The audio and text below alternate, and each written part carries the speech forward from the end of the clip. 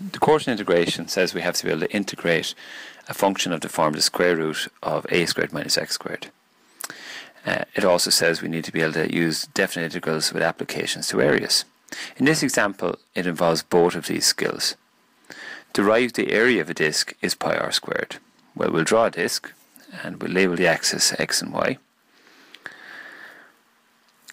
And then we look at what is the formula for getting the integral of an area. And we see that the area going down to the x-axis is the integral between b and a of y dx. Now, let's consider just a quarter of this circle, a quarter of this disk. So we're going from 0 out to r, we call that the radius of the disk. That's the yellow shaded area. So it's a quarter of the full area we're getting. So the area over 4 would be between r and 0 of y dx. And we'll have to ask ourselves, well, what is y in this case? Well, this is a circle with centre at 0, 0 and the formula for a circle is x squared plus y squared is equal to r squared. So we see that y squared would be equal to r squared minus x squared, taking x squared from both sides. And y then is the square root of r squared minus x squared. Now this is of the type we mentioned at the start.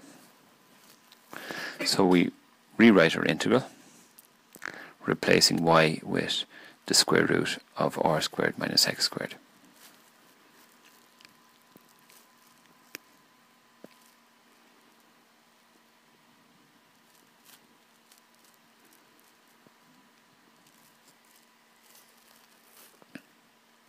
Now the little trick involved it, how do we integrate this? And the trick is that we replace x with r sine theta. Now let's explain this. We'll draw a little triangle here. We'll call the angle theta. We'll call the hypotenuse r, the opposite side x. And using Pythagoras' theorem, the adjacent side then would be r squared minus x squared, which is the same expression that we're using here. Now, sine theta in this case would be opposite over hypotenuse or x over r. So if we divide both sides, multiply both sides by r, we see that x is equal to r sine theta. And this is a little trick that we use. So instead of x, we're going to use r sine theta. And in the same way, the adjacent side, r squared minus x squared, is equal to r cos theta.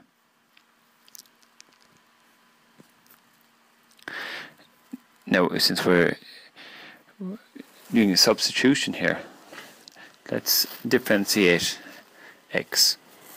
So if x is r sine theta, dx d theta is r cos theta. So if we multiply both sides by d theta, we see dx is equal to r cos theta d theta. Now we're nearly ready to make a substitution, but we have these limits r and 0. So if x is r sine theta, what is theta?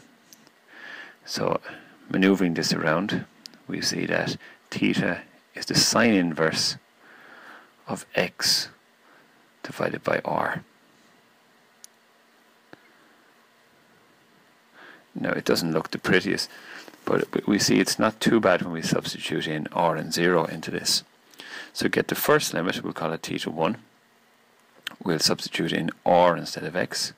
So it's sine inverse r over r. Well, r over r is 1.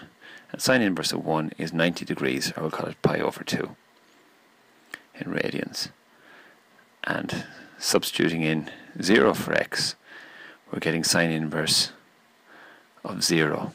And the sine inverse of 0 is 0, of course. The calculator will give you these two results. So now we're ready to rewrite our expression. You could learn off this uh, way of rewriting it, but it's important to understand where it comes from. So a is equal to 4 times the integral. Instead of r and theta, we have pi over 2 and 0. Instead of the square root of r squared minus x squared, we see that that's the same as r cos theta. And also dx we see is equal to r cos theta d theta.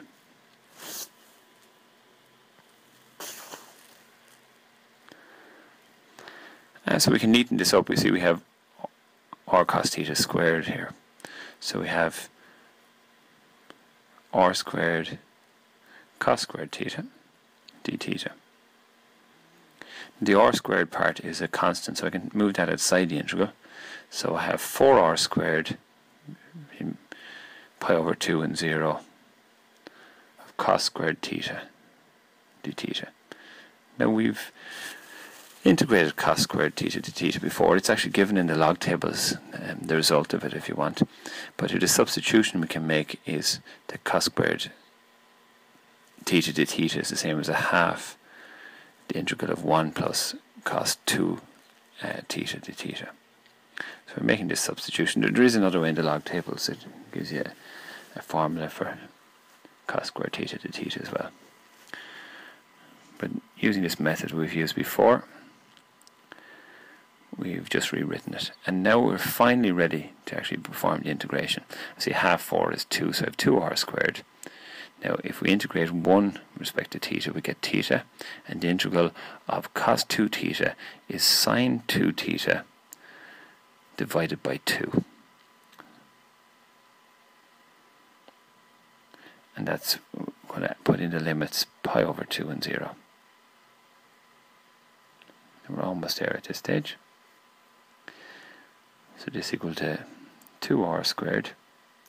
So we're going to put in pi over 2 instead of theta plus sine 2 times pi over 2. Now 2 pi over 2 is going to be just sine pi and this divided by 2 and, the sine of pi is 0. That's a nice result and then we subtract when we sub in um, 0 as our limit so that's 0 minus sine 2 0 over 2. Now also sine of 0 is also 0. So so it's only pi over 2 that's left here, but 2, 2 multiplied by pi over 2 is just pi, so we have pi r squared, which is what we wanted.